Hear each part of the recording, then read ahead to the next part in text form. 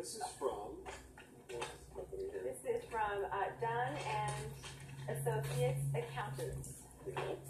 Um, paper cuts. Chris, my wife Bonnie, and I are huge fans of the morning news, especially on the weekends, of course. We're very concerned that you do use an envelope opener when you open mail on the set, and paper cuts might be in the future. I always get paper cuts. Oh, oh yeah. Ah. Good. Yeah. And, Thank you. Good marketing. Don't And, and look at their Thank t-shirt. you so much. They, they must do taxes because look at the people. Did they add fighting. some polysporin? Neosporin. Neosporin. What's polysporin? No, polysporin. There's neosporin. I'm allergic to neosporin. but there's polysporin. It's, it's ask, ask Dana's husband. He'll know. I don't know what it is either. There's less ingredients. Okay. It's more of a mild, It's more of an organic. more organic oh. neosporin. yeah. I like. Does your husband like Mederma? The- Yes, actually. It's stuff It does expensive, work. but it's a miracle. I can Coming get, up, I can have a great through segment with the Dr. Brent Is Mullen. he back? He's back today. What's he fixing this time?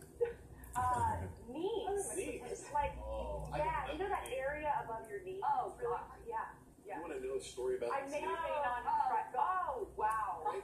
Oh. Wow. Because at the ranch one day, I was running when I was 12 years old, So hot and right then now. Nick, and then Nick, Oh. Not to touch. This, this. It can be really bad. Oh my god, there's like, wow.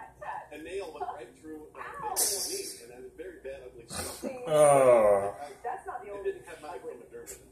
They, I know, it really does work that It's Yeah. All right. So, okay, weather died. It is, it is. sharing about the nose concerns, and today I'm sharing. I believe I have ugly knees, and that's okay. I do too. Apparently, I have winning. Don't show. Don't do what you want. It's up to you. You can see my knees later. I did them. I did a laser on them. You What? did?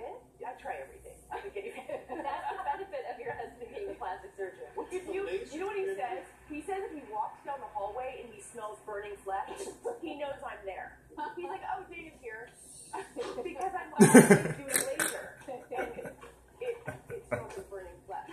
Laser solve everything. They have candles now that smell like burning flesh, Oh too. my So if you, Oh. well, you look great. You know, whatever you do, oh, I love it works. I love you. Okay. It's, are you done?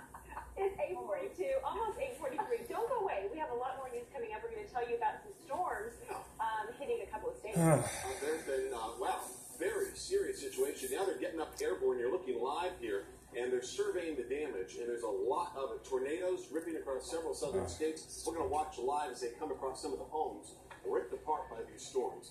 Some people have been killed. These very serious storms. Stand by on five.